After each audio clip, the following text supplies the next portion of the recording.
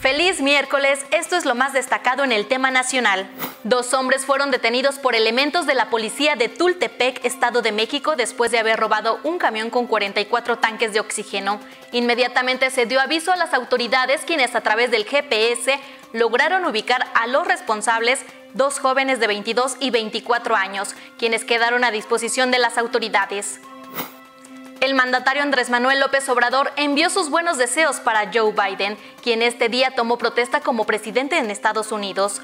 López Obrador aseguró que concuerda con algunos proyectos para dar atención inmediata a la pandemia, así como temas migratorios y la reactivación económica en el norte del país. El canciller Marcelo Ebrard informó que llegó a México la sustancia activa para la vacuna contra COVID-19 de AstraZeneca. Cabe mencionar que esta vacuna será envasada en México y se espera sea distribuida en territorio nacional y en Latinoamérica a principios del mes de febrero.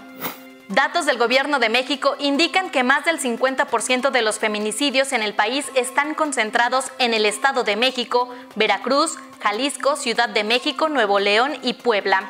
En total, durante el año 2020 se registraron 969 feminicidios, es decir, más de dos casos por día. Hasta aquí, México en 24. Suscríbete a nuestro canal de YouTube y disfruta de contenidos exclusivos. 24 Morelos. Y no olvides consultar todas nuestras redes sociales para que te enteres minuto a minuto de los acontecimientos más importantes en el estado.